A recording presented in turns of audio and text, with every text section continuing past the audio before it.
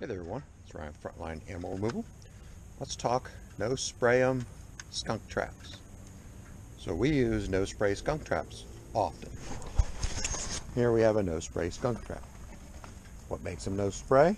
Well, you can see that the trap's all enclosed. Now I have it standing up on an end because skunks can't climb. And if I pull the door back carefully, see, skunk inside.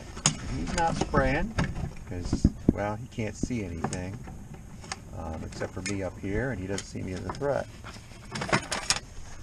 So as long as he stays hidden inside this tube, he will be, he will feel safe, he'll feel unthreatened, and he won't spray. And this trap is about the size of a typical skunk den that would be found in a wild. So he feels safe in here, and I can pick it up and I can carry it around, and I can set it in the bed of my truck, and I can drive around, and we won't have to worry about him spraying.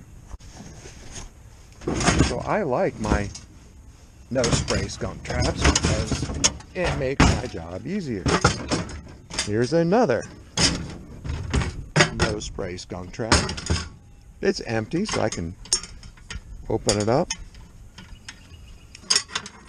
Now, this isn't a very big opening, but skunks don't need a big opening.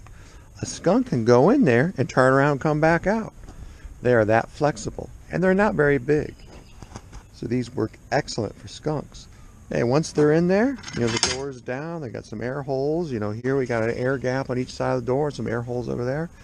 They're nice and comfy and cozy in there and they feel safe. And you can pick the trap up and carry it around and you don't have anything to worry about. Makes my job easier.